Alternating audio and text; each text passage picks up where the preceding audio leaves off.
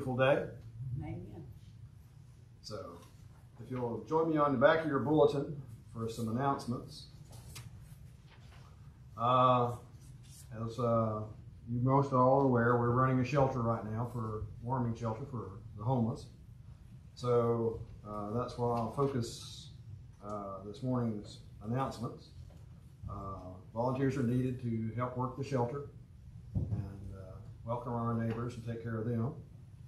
As far as needs, uh, we need gloves in all sizes, undergarments for men and women. On the men's side, the medium and the large is what more we need. Uh, have some of the extra large and double X large, but uh, long sleeve long sleeve T-shirts and hoodies would be nice. Uh, today at 1 p.m. there's going to be some gathering to do kits for donations, put them together for hygiene kits and so forth. So if you can come out this afternoon at 1, uh, we'll be doing that.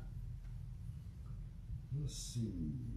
Of course, if you want to have a time with uh, the pastor, you can schedule a chat and chew with him. And uh, anything else, Pastor, this morning? Well, good morning, friends. Good to see y'all in worship this morning. And I just have a uh, supercalifragilisticexpialidocious, is that the right word? Uh, uh, suspicion that today is going to be a great day. And I know I'm excited about today and what God's going to do in our service today. Uh, and uh, appreciate all of you for weathering the storm of life today in the cold to be with us in worship. Inside your bulletin, uh, as you know, we're beginning our capital campaign, and part of that capital campaign is us serving. So the first thing this month is we're going to focus on serving. And so today is uh, one part one of our commitment Sunday, and I want you to fill out this card um, and see where God is leading you to serve in this church. So today, as we're going through service, I don't want you to fill out the beginning of service. I want you to wait through the end of service. I want God to talk to you the whole service. And I want God to speak to your heart on where is God leading you. As you know, this is our year of relaunching to our new church name, the Table at FCC, and we're getting ready to do some new and exciting things. So we want to add a praise band to service. We want to add uh, some different youth uh, aspects. We want to do a little, uh, uh, some new and exciting things here to add to our worship experience. And so we want you to be a part of that. Uh, maybe you want to be a greeter. We invite you to fill out this card and say, or oh, prayer team, or what have you, and say, Pastor, this is where I want to serve. And there's a brown basket, the commitment basket, that's what I call it today, uh, that you put it in after service when we sing the hymn of response. I'm going to give you a few moments to make your selection and then come up as God leads you to place it in the basket uh, for your commitment uh, here at First Christian Church. Amen?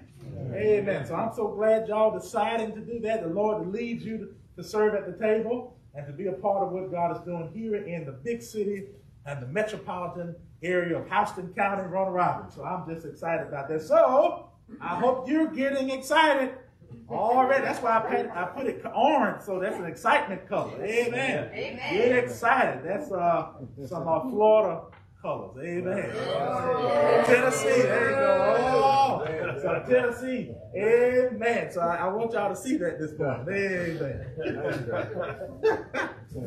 I lost a lot of friends right yeah, you stuck that one. Yeah, yeah.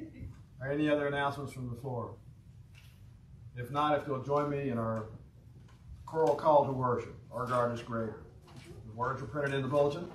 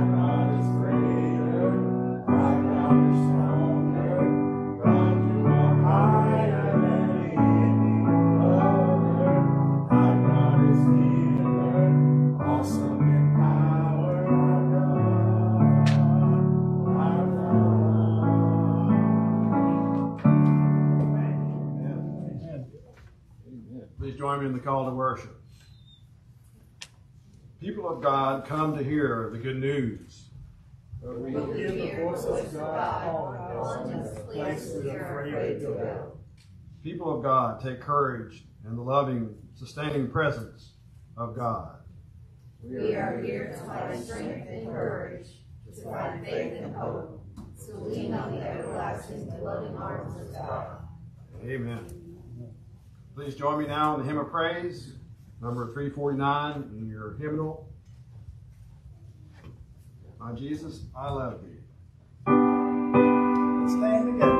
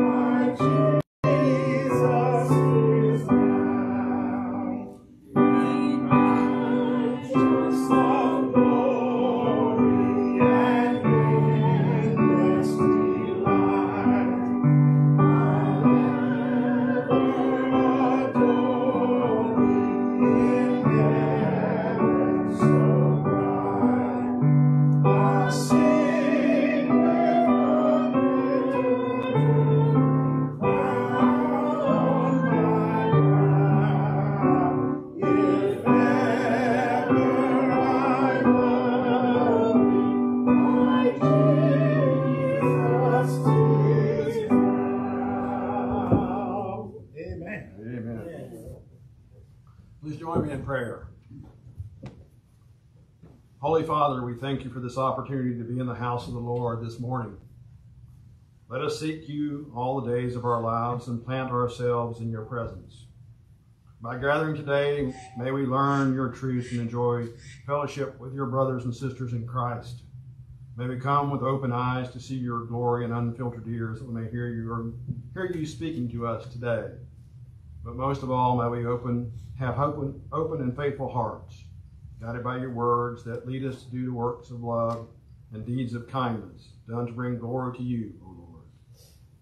We thank you for the opportunity to be your hands and your feet to our neighbors who are suffering from the lack of a place to call home. We have seen your blessings pour out on us this, in the short term, but we humbly ask that you bring forth long-term partners to join with us in this new ministry. For we know that we cannot do this alone, that only through your grace can we truly carry out this new ministry. Help us to come together in one accord aligned with your will, such that we may follow your path, not our own. Be with us during this time of worship, and may you be exalted in this place. Now let us lift our voices together as one body of believers as we pray the prayer Jesus taught his disciples to pray, saying, Our Father, who art in heaven, hallowed be thy name. Thy kingdom come, thy will be done, on earth as it is in heaven. Give us this day our daily bread, and forgive us our debts, as we forgive our debtors. And lead us not into temptation, but deliver us from evil. For thine is the kingdom, the power, and the glory forever. Amen.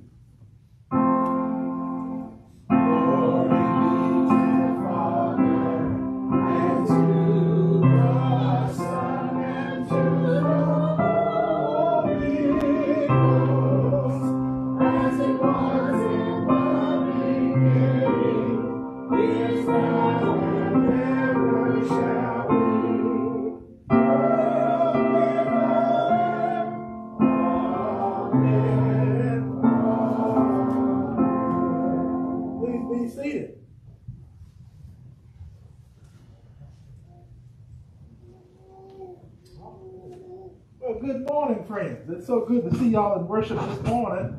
And uh, I pray that you're excited as I am about worship today. And I'm thankful for what God is doing in our midst and what God is doing in our service today. And what a beautiful day it is in the neighborhood right here at the table at First Christian Church.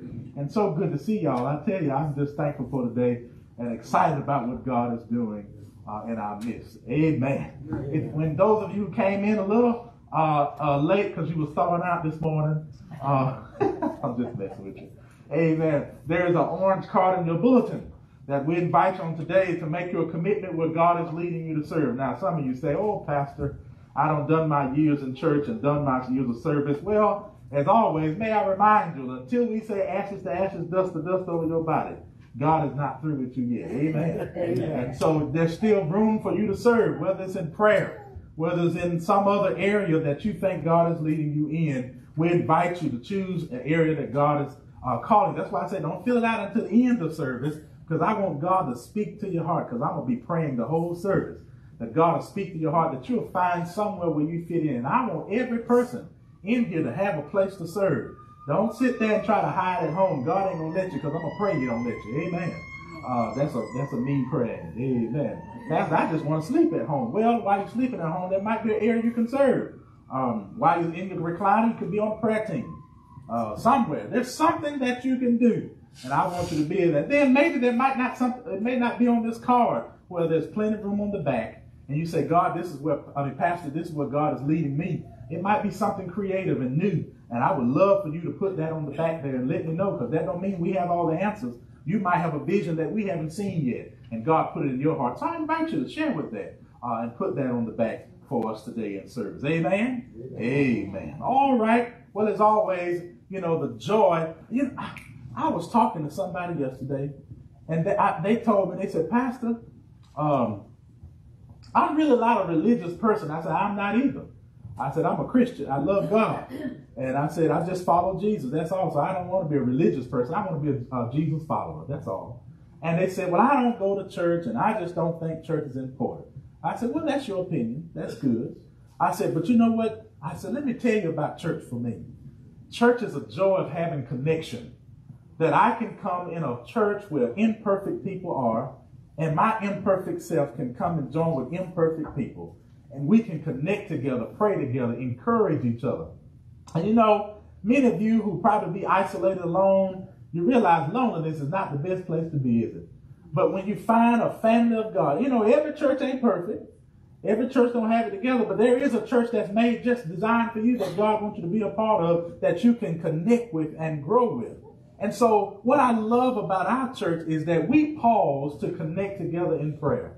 And I love that every Sunday we get to take a moment and share our joys and concerns with each other and be able to lift and encourage each other. And what's so good about it is a judgment-free zone that we can sit there and say our prayer, what our prayer request is, and then everybody looks at it and go, wow, Lord, bless them and Lord have mercy on them. That's what's joyful about that, that we can share together. And then some of you will share your testimony, not long, but just a quick sentence of what the Lord has done for you or what he's done and answered prayer. And we get to shout, glory, hallelujah, that God has done the work for us. And I don't know about you, but I get excited when I hear somebody's testimony because that means God is alive and well. Amen to that.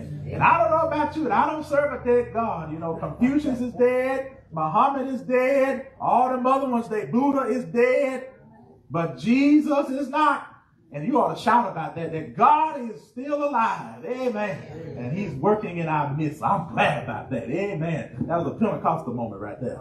Amen. Amen. Amen. Y'all gonna catch Jesus after a while. but God is alive and I love him. And if you ain't figured that out, I'm telling you, he's doing something great. All right, so there may be some joys and concerns you would like to share with us this morning.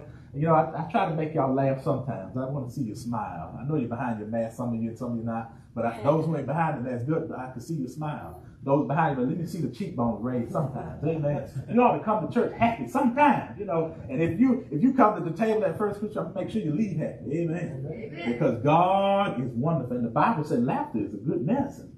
Some of y'all need some medicine this morning. Some of y'all look like y'all constipated, sucking on this. You need some laughter this morning. Amen. Well, that church supposed to be serious. You must don't know God. Amen. Look, he made a beaver and a platypus. I mean, a be- what's a beaver and a duck together called a platypus. God is funny. Amen. He made us. He's very funny. Amen. Amen. So God is good. Any joys and concerns that you would like to share with us this morning? Yes. Jess texted me this morning, our daughter Jess. Um, she doesn't know the circumstances around it, but one of her good friends from high school apparently passed away. I'm not sure how recent. His name is, which means he's about 27 or 28 years old. So that's always a tragedy in my book. Uh, his name is Darkwell Gooch. So prayers for his family as they deal with this loss. Definitely will be praying. Thank you for sharing. Any others? Yeah. friend I worked with up at the Habitat Humanity, Mike Green, his wife just passed away. Mike Crane. Mike Green, his wife, I'm not, can't, can't for life remember what his wife name was. Mrs. Green. Amen. Any others? Yes. I had all my test results come back in a good light. Hallelujah. Amen. Amen. Woo-hoo. We love good results. Amen. Any others? Yes. My niece, Mary Ann Lasky, um, you know, she took a road trip from Fargo to uh, their new home in Erie, Colorado, um, a new rental house. And Abigail stayed behind, um, but they got their furniture yesterday, and so they're setting up the house, and she's flying back to get Abigail, and then, and then she'll be back, and uh, they'll be in their new house after the fire. So. Amen. And those who don't know, that they are her niece and family uh, experienced a fire in Colorado and lost everything.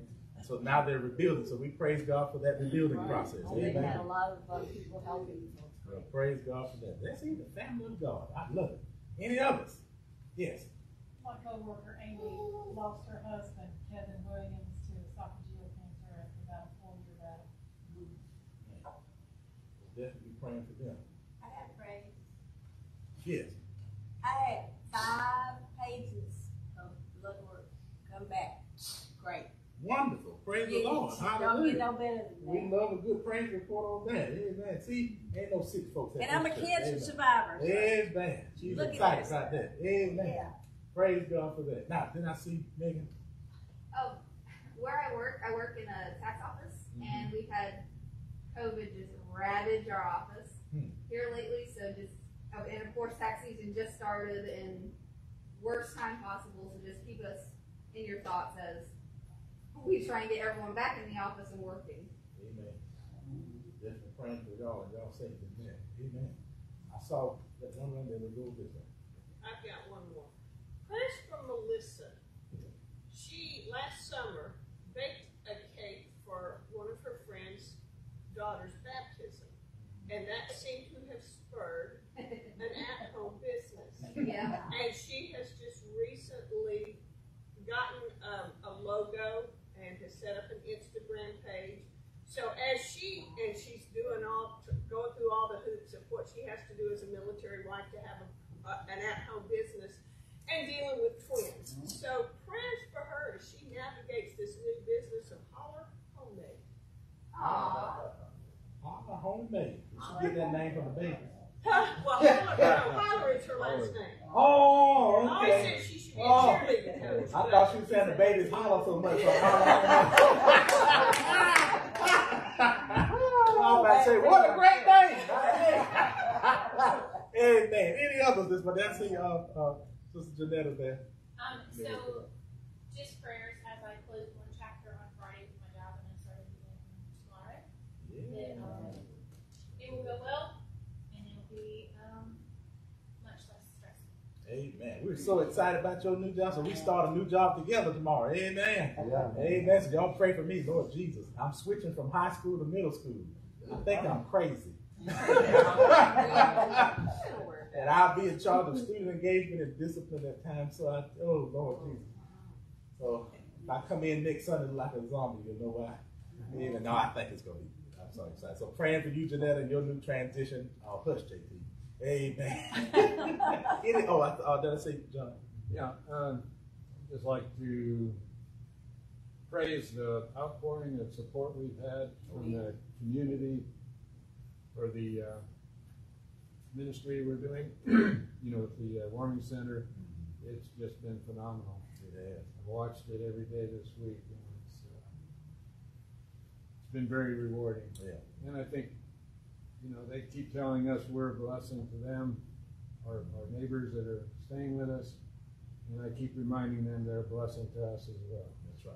That's right. And I'm telling y'all, you know, some folks are like, oh, is that going to cost us money and all this stuff? Listen, every day somebody's been bringing donations, so I think light bill at least covered for two months. Amen. How people have been donating, and I tell you, I, if we didn't know we need to clean out the room, we need to this week. Amen. Yeah. We have loads of stuff. And let me you, I told y'all when we trust the vision that God gives us, God's gonna make the provisions. And God has blown our mind this week. When you be obedient to God, and I know some like, oh, we didn't know about it, I didn't vote on it, all this stuff. Some things you just don't do, you vote on. You just do because God said do. You know, and you just do because God is leading us. And look what God is doing. And blessing people out. And listen, we don't lead some people to Jesus. Did y'all know that? You didn't know that, did you? Amen. We've led some folk to Jesus. They've been asking us about the Bible, and we've been sitting at the table witnessing to them. I'm telling you. And there's some young folks back there. Listen, they've been helping us clean the church and fix up rooms. So we got we we oh they just blessing us. I tell you. And they came today said we're gonna paint today. I said I forgot to paint, but we will soon. I haven't painted the rest of the week. God is just doing a great. We'll get to encourage them, get to lift them up. So God is good, and I'm just thankful for that. And guess what? If they didn't know our church name, they know it now. It's all over the news and internet and everything. So uh, they get to see what I get to see every week. A loving church that loves God and what? Loves people. Woo, boy. That's good right there. I tell you. And guess what? They get to experience that, that we love them and there's nothing they can do about it. They get to experience that. And because of you and your faithfulness and your heart for God, wow. Look what you're doing. And they're going to always remember that. I want you to remember that. I tell you. So if nothing else stirs your heart, let, that stir your heart. We are loving God's people. And what a great gift that is. Amen? Amen. Amen. So we on Facebook Live, so I can't say what I want to say because I don't want them to get right. uh, but I, when we turn the cameras off, I'll tell you another story. Amen. All right. God bless you. Well, let's prepare our hearts and minds and lift up these prayer requests to Almighty God. Would you join me as we pray? God, you are good.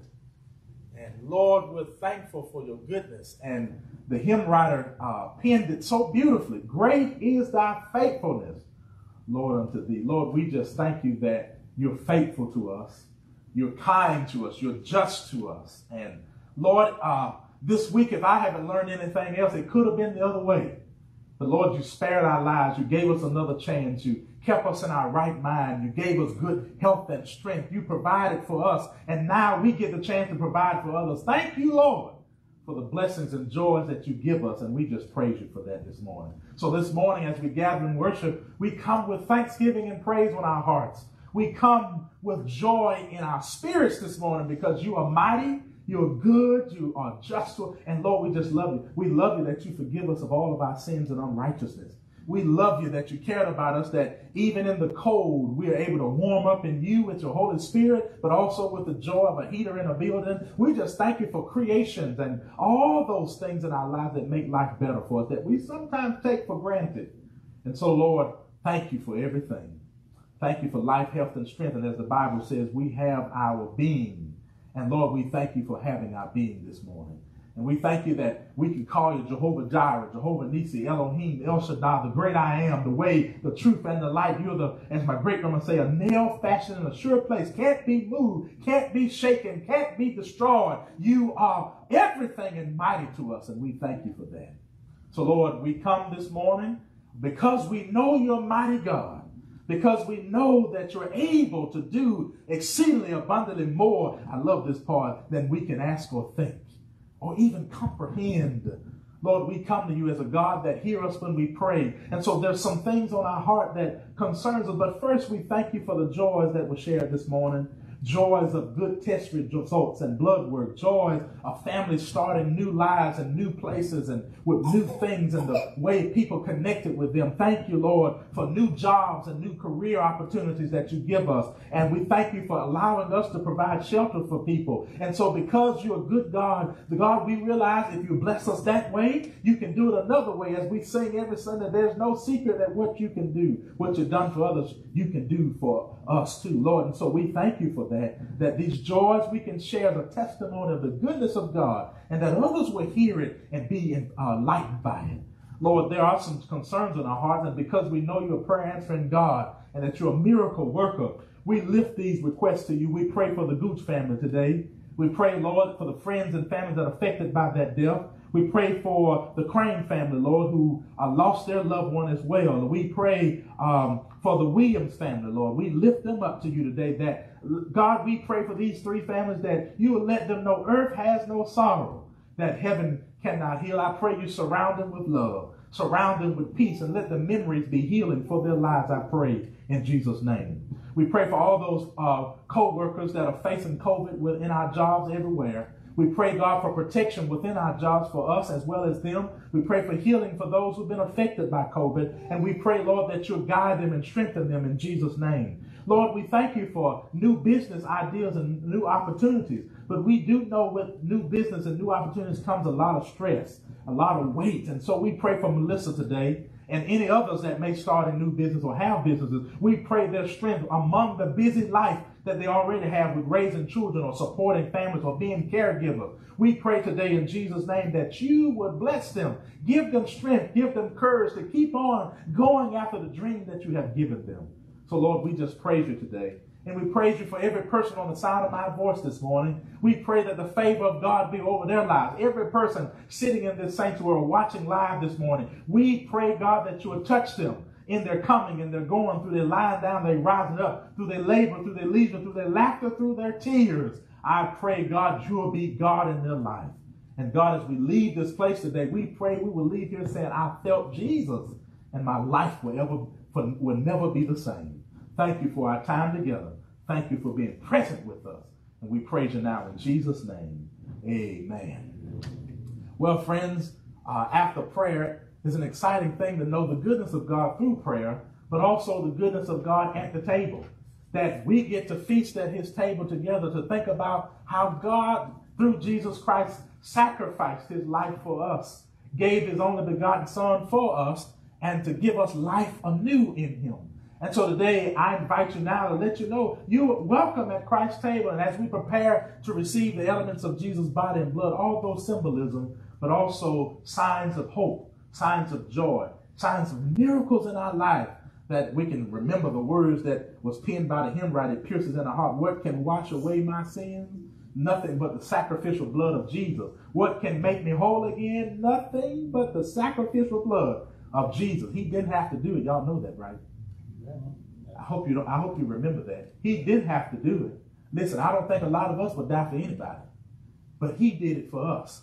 Oh, what a great joy! So when I see that grape juice I said, whoo, not only does grape juice taste good, I think about he's sweet, I know, amen, that he gave himself for us. So as we prepare our hearts to meditate and prepare our hearts to receive the elements, let's sing our communion hymn, one of my favorites, so I might get excited with this one. Jesus is all the world to me, my life, my joy, and all. Let's stand together as we sing with uplifting voices, all four verses of this great hymn of the church.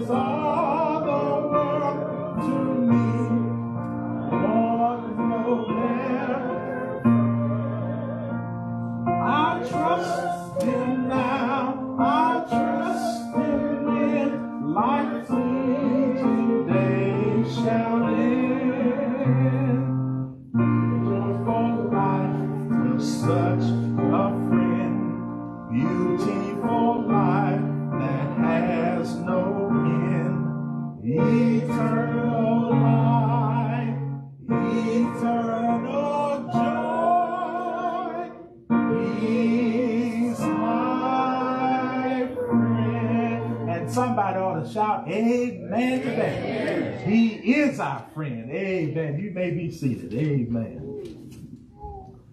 And we have a friend that gave his life for us. The Bible said he laid down his life that no man can take it away or even uh, give it back. He can do that. Only he can. And what joy. You know, Abraham, the Bible said he believed God so much that it, it was counted for him in righteousness. And he was called a friend of God. We have a friend in Jesus. You know, Toy Story gave us a great theology You got a friend in me? Y'all love that song, but I love that song. It's on my playlist every day, and I, I turn it to a gospel song. Amen. I've got a friend in Jesus, and I'm so glad about it.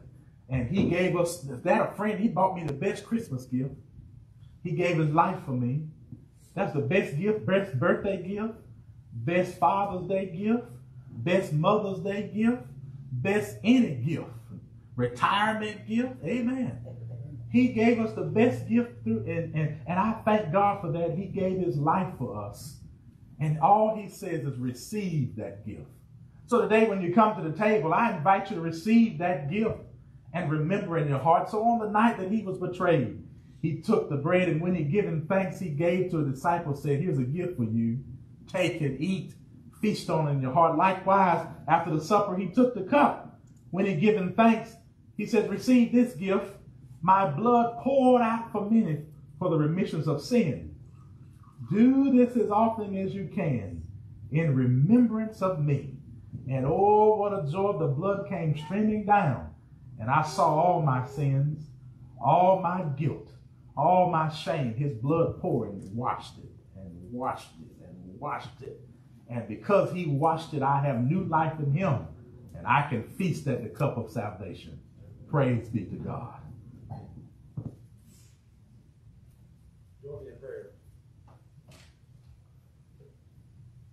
Lord Jesus, our Christ who saved us, we thank you for the nourishment you have prepared for us this morning. May we approach this table with gratitude in our hearts for your sacrifice, and may this communal action draw us close to you and increase our desire to abide in you. We ask that you bless this bread and drink to all who will partake of them. May our actions help keep us connected to you and increase our desire to be your disciple, willing to witness and proclaim the name of the Father, the Son, and the Holy Spirit. Amen. Well, friends, um, because of COVID protocol, we're going back to the prepackaged elements, and I hope everyone received one. And if you did not, we'll be glad, one of our deacons or elders will be glad to serve you one at your seat. And we're going to join together as one body of, fam- of faith and family of God together as we feast on these elements together. So I invite you now to receive your elements, and uh, if you'll go ahead and peel back the bread, we'll prepare our hearts and minds to receive together. And as we're preparing, I pray that the Lord will pour out His Spirit on these gifts of bread and wine and to make them be for us the body and blood of Christ, that we may become the body of Christ in Jesus' name. I invite you now to take the bread that symbolizes His body and let's feast in our heart together.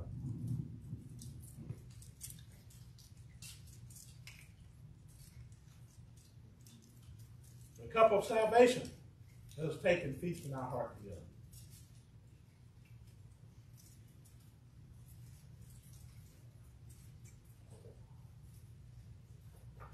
Thank you, Lord, for this gift. And may we receive it in our hearts with thanksgiving. And Lord, I pray that we don't take it for granted, but we'll live out the joy of resurrection through you. In Christ's name, amen. Amen. You know, and often oftentimes in service, people always wonder why we take communion and then do the offering right after.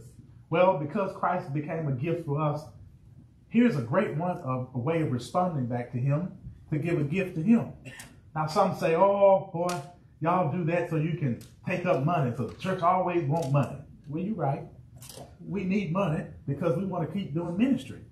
You see, the money that you give helps us to do stuff that's back there.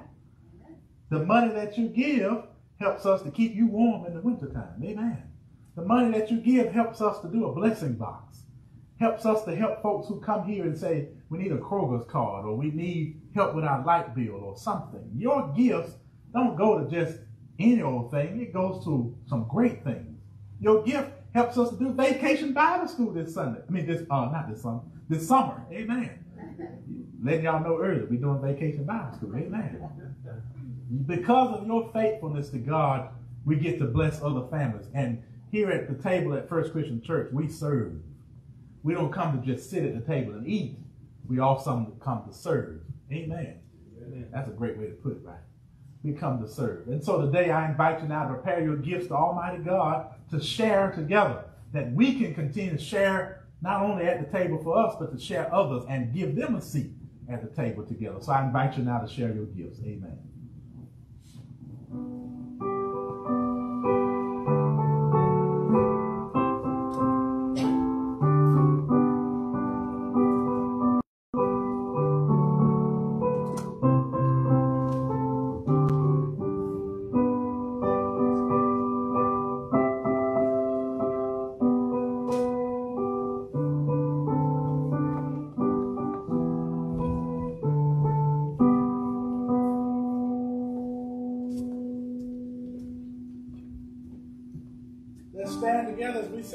Sing the doxology. Praise God from whom all blessings flow.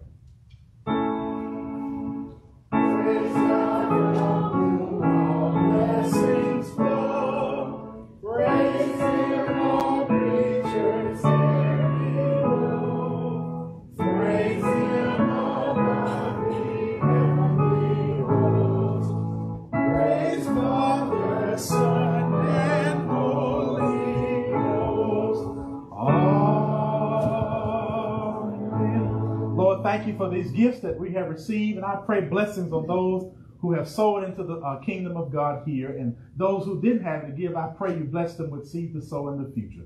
We thank you for it now, and let it be uh, blessings for the vision and the ministry we do here. In Christ's name, amen. amen. Please be seated. Amen we make sure y'all have a lot of exercise here so you won't go to sleep during service. Amen. Amen. It's so good to see y'all in worship, and I'm excited about uh, preaching now as we continue our sermon series this month. Uh, we've been doing a sermon series called Reset, finding a uh, renewed normal. Amen. Uh, I think it's important that after, the, uh, well, we're still in the pandemic, but during this pandemic, and you know how we said uh, we started New Year's resolutions and we're getting our mind and heart right for the new year. Well, I thought it would be appropriate to make sure we teach about things that we need to look at. We talked about perspective and reality. We talked about uh, response and uh, uh, reactions. We talked about uh, not forgetting, right? Uh, remembering what God has done. And so today we're going to continue and end this sermon series on paradigm shift. Amen. And that's our topic for today. We're going to talk about a paradigm shift. Now, and next month we'll begin a new sermon series on the hymns of the church. We're going to talk about This Is My Story. I can't wait to preach about that. Amen. And I'm looking forward to talking about because y'all know I love hymns. Amen. And so then at the end of the month, we're going to be with first, we're going to, me and first, uh, First Christian Macon and the table, we're going to come together in the healing experience. Going to do a hymn fest for y'all. Amen. And so we're going to sing some of the favorite hymns of the church. I'm excited about that. So make sure you look on the back of your bulletin for some dates on there. Amen uh, from stuff there for us. So uh, let's dive into our sermon. Our text is printed in our bulletin, and I invite you to share with me as I read the text and share with you what God has given for us in our service today. Hear now the word of God from Colossians chapter 3, verses 1 through 11. Hear the Holy Writ. Since then you have been raised with Christ. Set your hearts on things above, where Christ is, seated at the right hand of God. Set your minds on things above, not on earthly things, for you died and your life is now hidden with Christ Jesus. When Christ, who is your life, appeared, then you also will appear with him in glory. That's excitement right there. Put to death, therefore, whatever belongs to your earthly nature sexual immorality, impurity, lust, evil desires, and greed, which is idolatry. Because of these, the wrath of God is coming. You used to walk in these ways and in the life you once lived, but now you must also rid yourself of all things as these anger, rage, malice, slander, filthy language. Lord have mercy. Do not lie to each other, since you have taken off your old self with its practices and have put on the new self, which is being renewed in knowledge in the image of the Creator.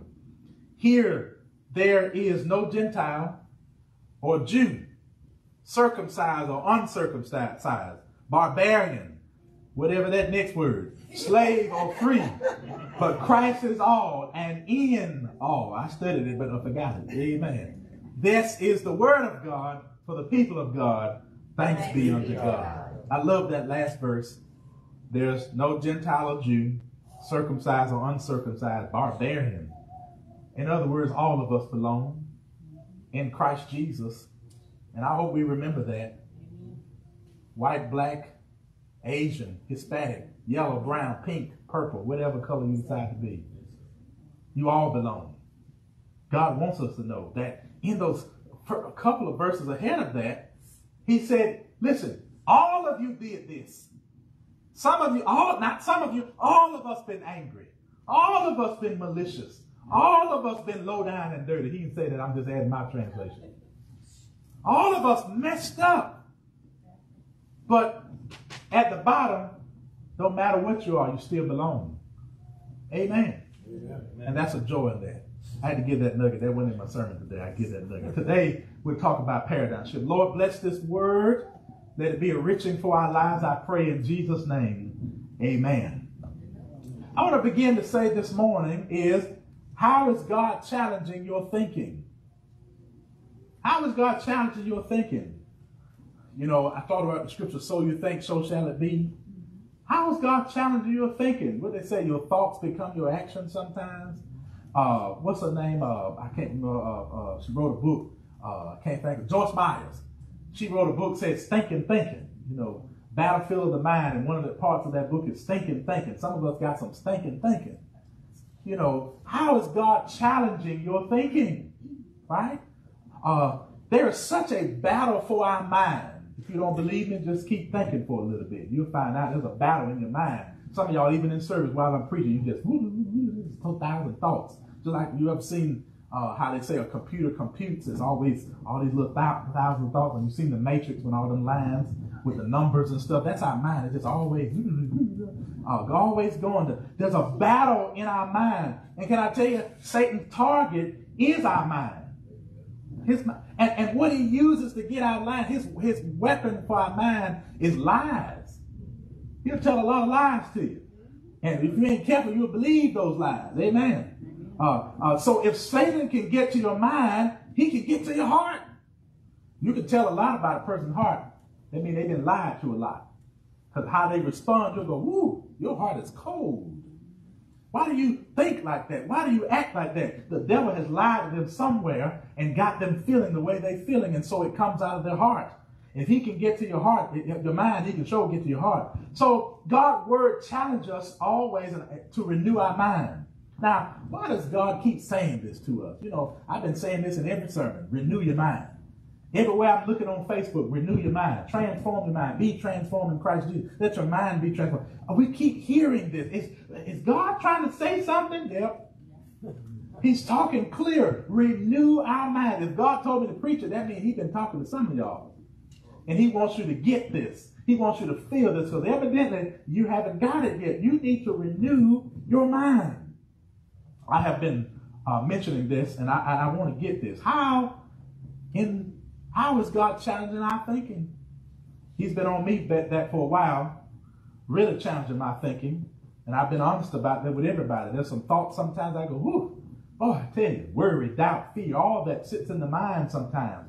You know, self self esteem issues. Am I good enough? Am I a good pastor? Do they like my sermons? Do they like what I'm doing at church? Those thoughts come all the time. You know, oh, they didn't shake my hand this morning. They didn't like my sermon. You know, those thoughts come time, come in the mind sometimes. You, you, you, or do my students like me? All this stuff. You always got something in the mind. Did I do enough? Was I this enough? You always got something in the mind. And so, how is God challenging our thinking?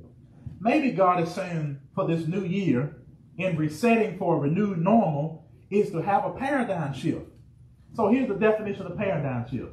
To change from one way of thinking to another. That's a deep definition of it. To change from one way of thinking to another. Woo. You know, but they say you can't teach an old dog new tricks. With the right treat you can, you know. but, you know, sometimes we're stubborn and we don't want to change the way we think. What we decided is what we decided. I'm going to do what I want to do. And God says, how's that working for you? Amen, somebody. He wants us to have a paradigm shift in our life to change one way. Uh, and God will use seasons in our lives to do that. God will put you through a, a, a, season of life and you're wondering, what in the world is happening? Because God has said, I'm changing you. I'm modifying you if you don't like the word change. I'm shifting you. That's a prophetic word right there. I'm shifting you from where you are to make you better. So I got to change your thinking. And sometimes God puts us in experiences to change our thinking. The concept that paradigm shift was birthed from Romans chapter 12. Listen to what it says. Don't copy the behavior and customs of the world, but let God transform you, transform you into a new person by changing the way you think. That's in the Bible. Paradigm shift. We have got, you know, I call it social norm. If it's a trend, you know, we live in a world that everything's based off trend. You know, when they did that crate challenge and I saw all them folk doing, I said, okay, You're gonna fall down and break your behind, your neck, or somebody gonna die. But everybody follows the trend so they can get likes and loves and go viral. And then God says, "How's that working for you?" Right. so, so He said, "Don't uh, copy the behavior and the customs of this world. Be shifted to a new mindset." In Colossians, in our text, Paul says, and I, I'm, I'm gonna paraphrase and I'm gonna shrink it down so we won't be here all day with that because I don't have much time. I got look like I got 10 minutes. I told the kid, I told the kids that in church, I said, we get out at 11, so I need to honor that. In the Colossian text, y'all got to give me five minutes after though. Uh, in the Colossian text, Paul addresses the Colossian church, and what I think is most is that uh, he comes first with a place of understanding, but he gives them a warning. If you look at the text and you just go with your Holy Ghost imagination and exegesis the text all the way through, here's what Paul says. He says, I understand that we all have a dark side. yeah, we all have a dark side. Oops, Pastor Chris, you just called us out. I sure did. I used Paul's words, not mine. So get mad at Paul. You know, Paul said we all have a dark side. Don't you tell no fib about it. We all have a dark side. Amen. How do I know we have a dark side? Okay. Uh, let somebody cut you off in traffic. Some words will come out. Amen. We all have a dark side. And Paul says, I understand that, but let me uh, be honest with you about it. I admonish you to caution yourself that that dark side can bear fruit in your future. So you got to be careful of that. You know, well, I go to church, I'm sanctimonious. You know, I've got the Holy Ghost jogging together. I know every hymn. I know the doxology. I know the Gloria Patri. I've got it all back. I know the bylaws all back. But that don't mean nothing. You can still have a dark side because the devil do come to church.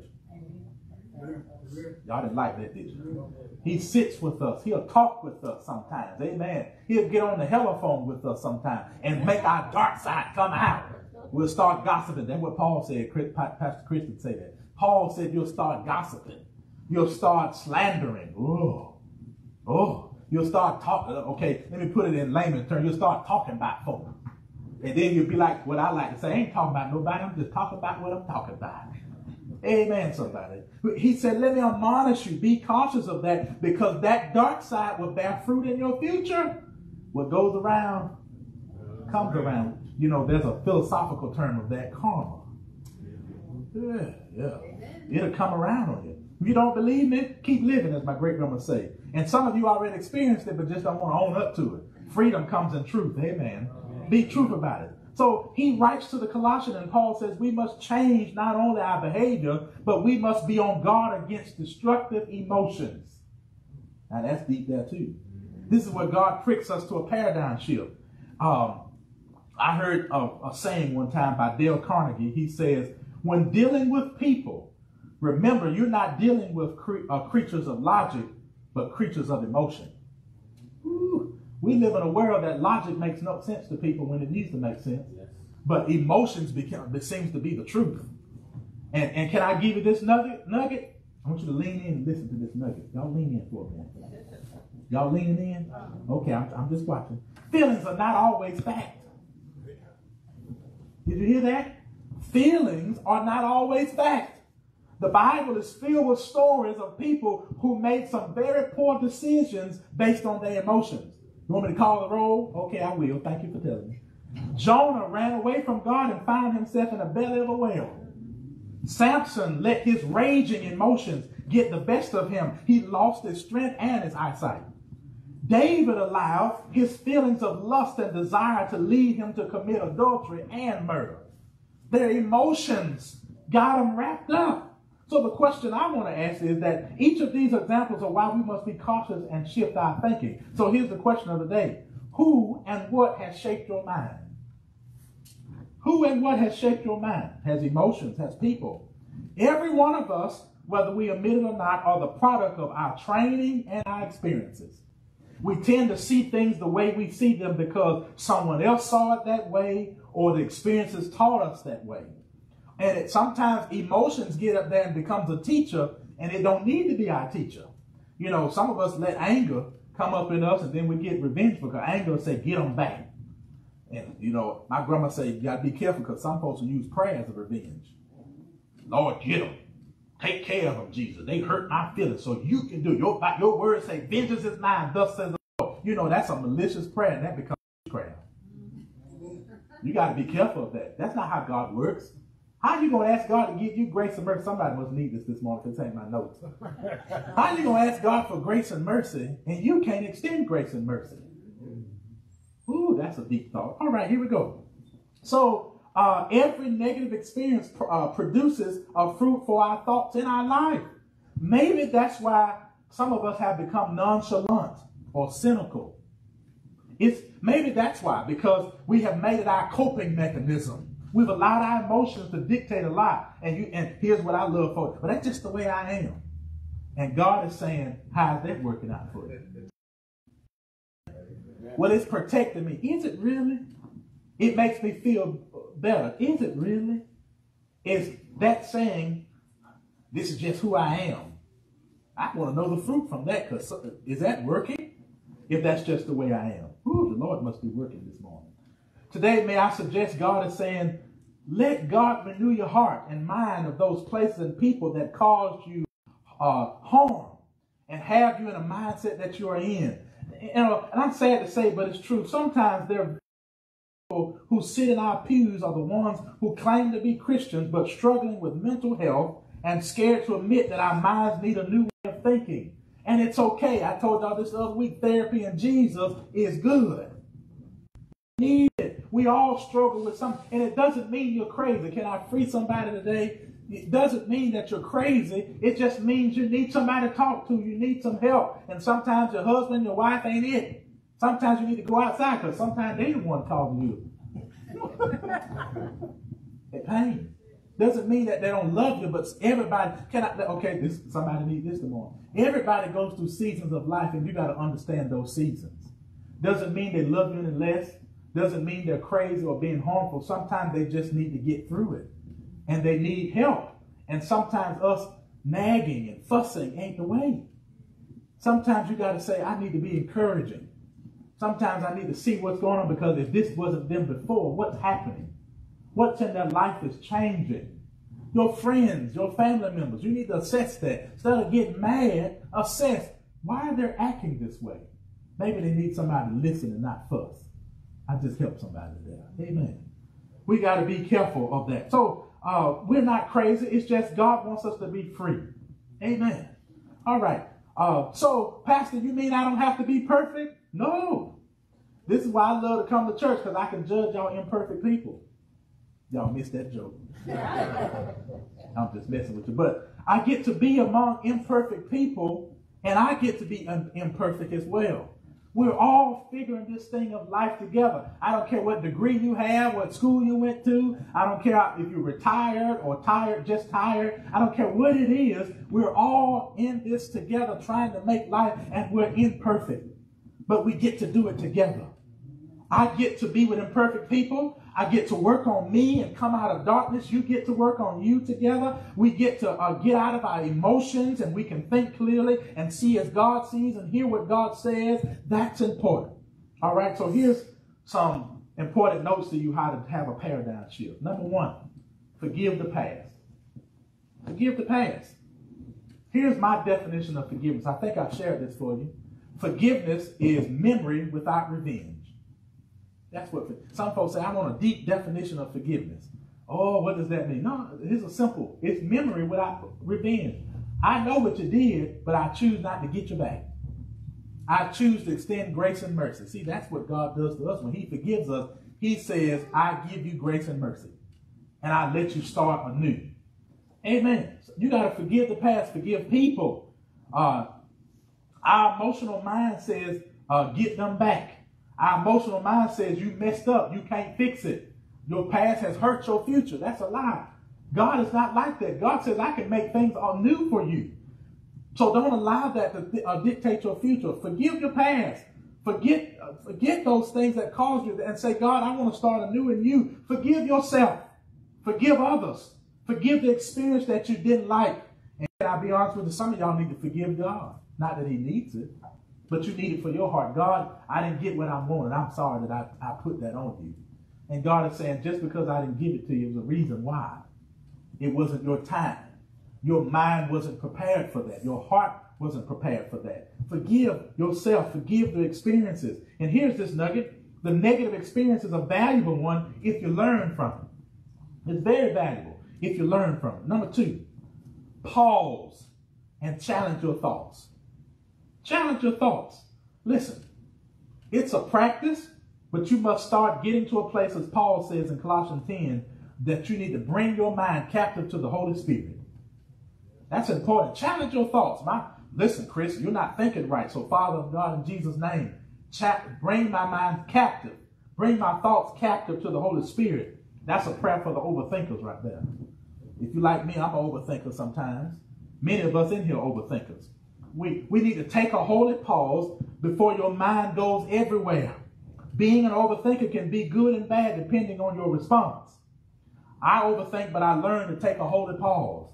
I took Paul's advice in Philippians chapter 4. He says, Think on these things, whatsoever true, whatsoever things are honest, whatsoever things are just, whatsoever things are pure, whatsoever things are lovely, whatsoever things are of good report, if there be any virtue and if there be any praise, think on these things. So I have to pause and say, wait a minute, there's a negative thought here. So Lord, bring my mind to the captive Holy Spirit. What's good? What's true? What's faithful? What's honest? And when I think all those things, I have a paradigm shift. My mind changes, my heart changes. And I have to pause and choose to discipline my thoughts like God. And I get happy because God's word is a weapon for me. Ooh, that's good right there. His word becomes a weapon for my life to challenge me to think differently, to do differently, to change my ways. That's my final point from you this morning. Use God's word.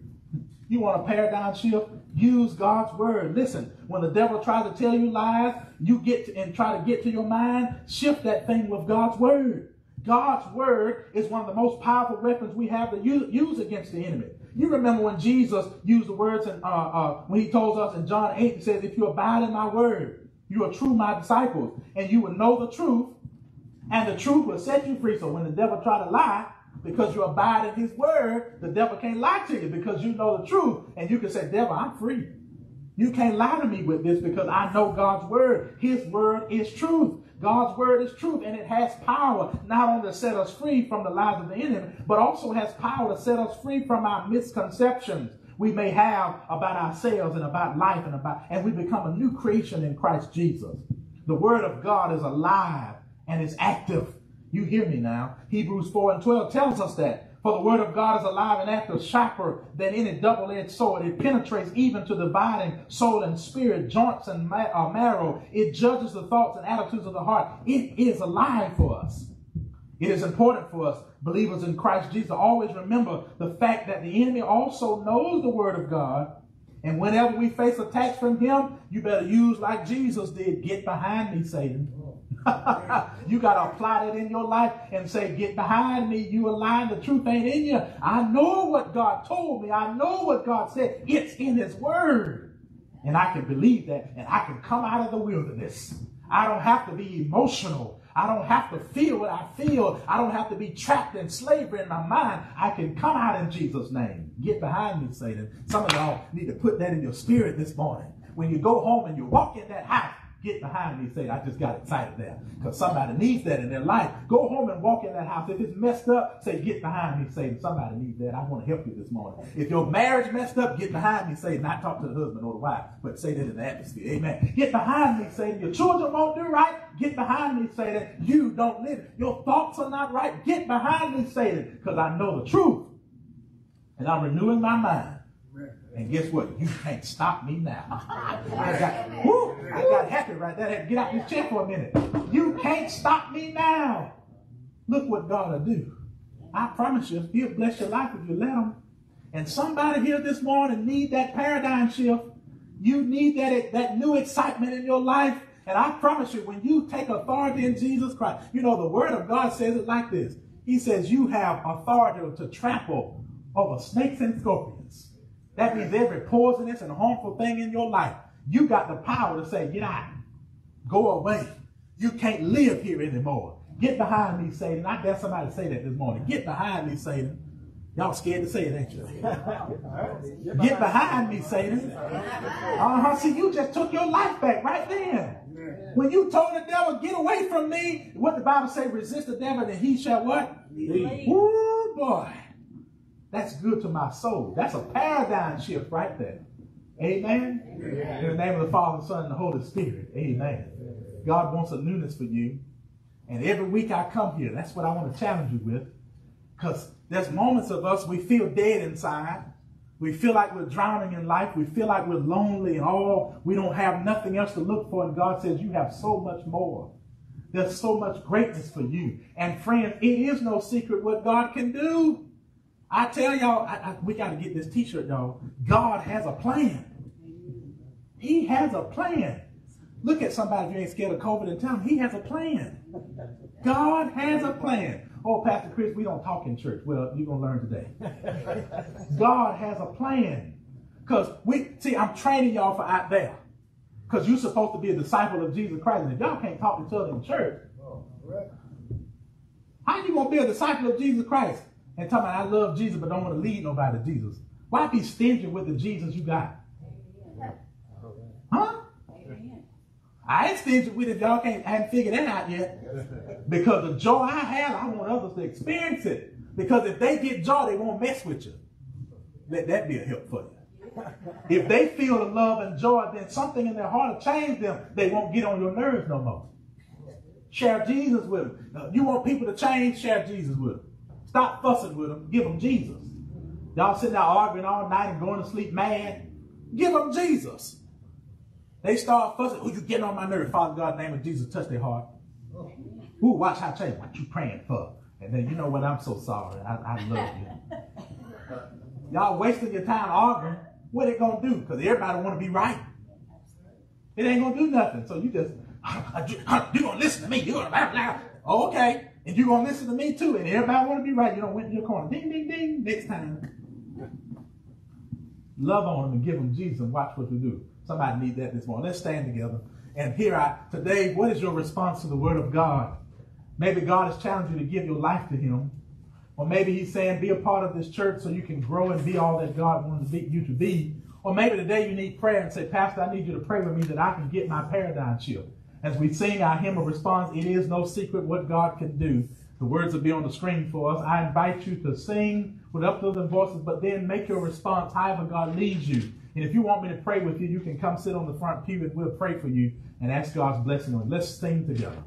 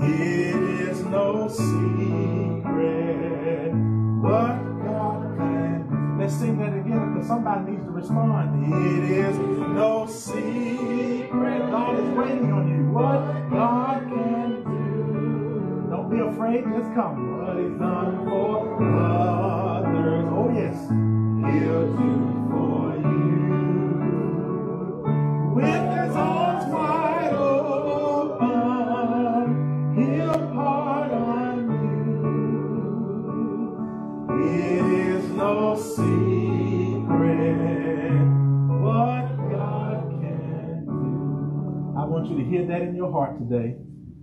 He can do it for you just like he done it for me. Because God has a plan. Just allow him to shift your life and watch, watch what God will do for you. Take that word in your heart today. And I pray that today's sermon was a blessing to you, that you will feast upon that and grow in Christ Jesus. That's what he wants for you. Guess what, friends? I love you, and there's nothing you can do about it. I'm telling you, I mean that with all my heart. You may be tired of my loud self, but I'm going to tell you what, that loud self going to stick in your heart because I love you. And every time you have a negative part, uh, part of your life, I hope my little face jumps in your mind and say, God has a plan.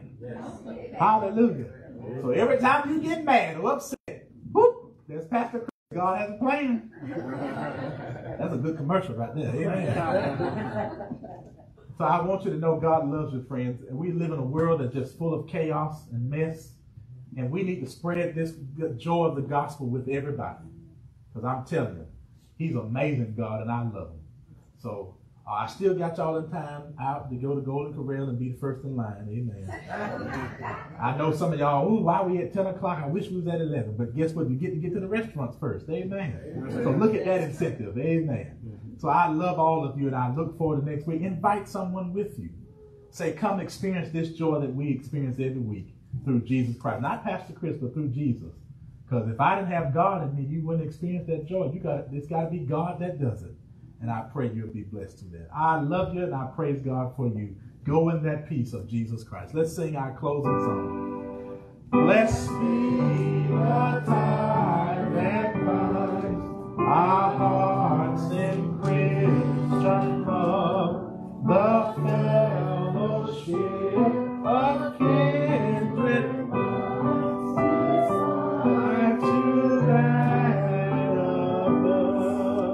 Now, friends, you have that orange Tennessee Titan card. Amen. Uh-huh. And I want you to fill that out where God is leading you to serve. Don't leave here without filling that out. I hope God spoke to you and gave you a paradigm shift about serving in the church. And if you will, place that in the brown basket there and make your commitment. And once you place it in that basket, I want you to say in your heart, God, lead me as I help lead others. Amen. We're loving God and loving people. Y'all ain't gonna never forget that mission. Amen. Amen. God bless you and keep you.